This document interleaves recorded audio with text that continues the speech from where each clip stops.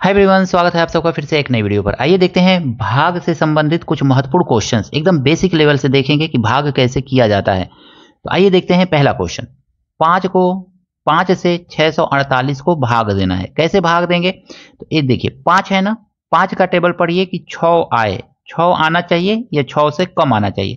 तो पाँच का पाँच पाँच दूनी दस। पाँच कन्ने पाँच। एक ही बार जाएगा, दो बार में दस हो जा रहा है। तो हमको पहला ही अंक लेकर के देखना रहता है।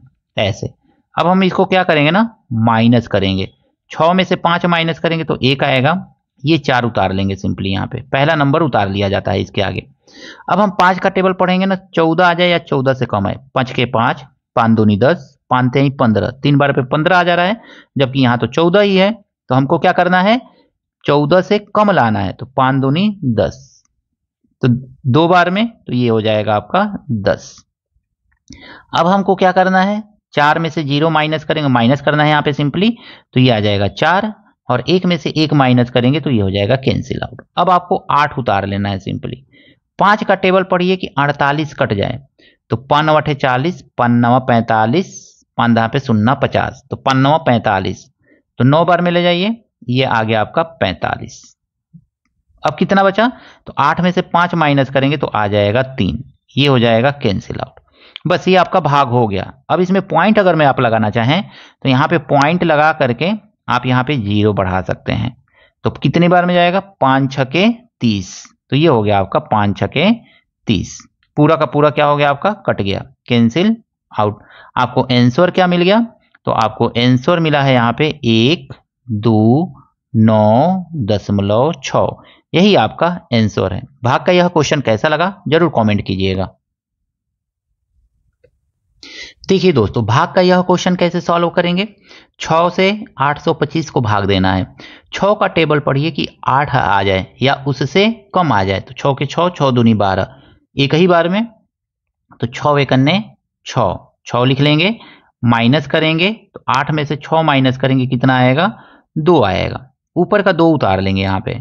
छ के छ छ दूनी बारह छ तरी अट्ठारह सिंपली ऐसे उतारेंगे। अट्ठारह लिख लेंगे यहाँ पे। अब देखिए इसको माइनस करेंगे। तो माइनस करेंगे तो हमको कितना मिलेगा? दो में से आठ जाएगा। नहीं जाएगा तो एक कैरी लेंगे, बारह में से आठ जाएगा, चार आ जाएगा। ये कैंसिल आउट हो जाएगा। अब हम देखेंगे इस पाँच को उतार लेंगे छ का टेबल पढ़िए, पैंतालीस है। छ के टेबल में पैंतालीस नहीं आता है। छ सत्य बयालीस, छ अठे अड़तालीस। तो अड़तालीस तो इससे ज़्यादा है तो लिखेंगे नहीं। तो छ सत्य बयालीस लिखेंगे। छ सत्य बयालीस। सीधे सीधे यहाँ पे बयालीस लिख लेंगे। अब हम इसको माइनस करेंगे। पाँच में से दो माइनस करेंगे, कितना आएगा? तो तीन आएगा। और ये कैंसिल आउट हो जाएगा। इसको यहीं पे छोड़ सकते हैं। अन्यथा यहाँ पे पॉइंट लगा लीजिए आप।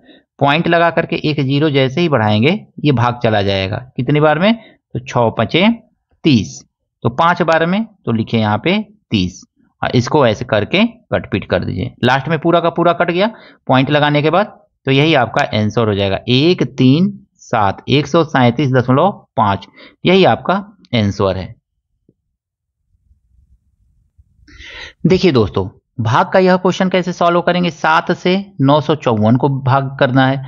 तो सात का टेबल पढ़ेंगे, नौ आ जाए। सात अन्य, सात। सीधे सीधे। अब देखेंगे तो माइनस करेंगे इसको। नौ में से सात गया, दो। पाँच उतार लेंगे। सात तरीके, इक्कीस। इक्कीस लिखेंगे यहाँ पे। माइनस करेंगे फिर इसको तो माइनस करेंगे पाँच में से एक माइनस करेंगे, कितना आएगा? चार आएगा। और ये कैंसिल आउट हो जाएगा। चार को उतारेंगे यहाँ पे, अगला वाला नंबर सात का टेबल पढ़ेंगे, चौवालीस आ जाए। सात छके बयालीस, चौवालीस नहीं आएगा, बयालीस आएगा। तो यहाँ पे लिखिए बयालीस, और इसको माइनस कर लीजिए। तो चार में से दो माइनस करेंगे, दो, ये हो जाएगा कैंसिल आउट पॉइंट लिख करके यहाँ पे आप चाहें तो ज़ीरो बढ़ा सकते हैं, बढ़ा लीजिए।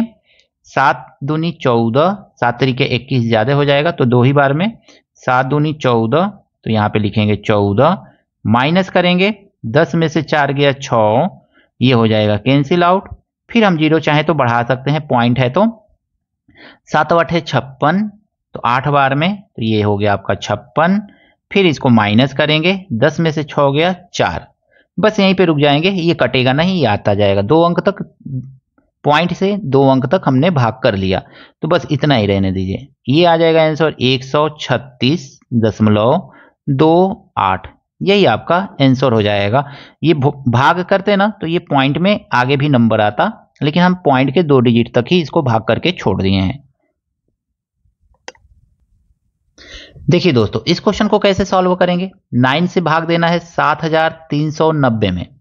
नौ अठे बहत्तर। नौ का टेबल पढ़िए। तिहत्तर से कम आए या तिहत्तर के बराबर आए। तो नौ अठे बहत्तर। आठ बार में हम जानते हैं कि बहत्तर आता है और नौ नवा इक्यासी इससे ज़्यादा हो जाएगा। तो हमको बहत्तर लिखना है यहाँ पे। अब इसको हमको सिंपली माइनस कर लेना है। तीन में से दो जाएगा तो एक आएगा। सात में से सात जाएगा तो कैंसिल आउट हो जाएगा। नौ को हम उतार लेंगे यहाँ पे। अब नौ का टेबल पढ़िए। उन्नीस आए या उससे कम आए तो नौ दुनी अठारह। अट्ठारह आ गया। अब हमको क्या करना है? इसको फिर माइनस करना है। तो नौ में से आठ जाएगा, एक आएगा। एक में से एक जाएगा कैंसिल आउट हो जाएगा। अब हमको आगे वाला ज़ीरो उतारना है। तो नौ के टेबल पढ़ेंगे कि दस आ जाए तो नौ एक अन्य नौ। तो यहाँ पे आ गया नौ। इसको हम लोग पॉइंट में नहीं करेंगे, इसको सिंपली ऐसे ही रहने देंगे बस। अब इसको लिखने का प्रोसेस क्या होता है? तो देखिए, इसको लिखा कैसे जाता है? यानी इसको भाग दिया आपने तो इतना आया। तो इसको आंसर कैसे लिखेंगे? तो आठ सौ इक्कीस होल एक बट्टा नौ। तो आठ सौ इक्कीस सही एक बट्टा नौ भी इसको पढ़ा जाता है। तो यही आपका आंसर है। बस इतना ही आपको लिखना है। एक क्वेश्चन है आपका, सात भगा नौ आठ छ। इसको भाग देना है। एक दूसरा क्वेश्चन है आपका, नौ बटा नौ भगा सात, पाँच, छ। ये दोनों भाग करके आप बताइएगा कि इसका आंसर दोनों का क्या है। इन दोनों का आंसर कमेंट करके दोस्तों ज़रूर बताइएगा। अगर मैं वीडियो अच्छा लगा है, दोस्तों के साथ शेयर कीजिएगा लाइक कीजिएगा। चैनल पर नए हैं चैनल को भी सब्सक्राइब ज़रूर कीजिएगा। मिलते हैं नेक्स्ट वीडियो में कुछ इसी तरह के नए प्रश्नों के साथ। Thank you best of luck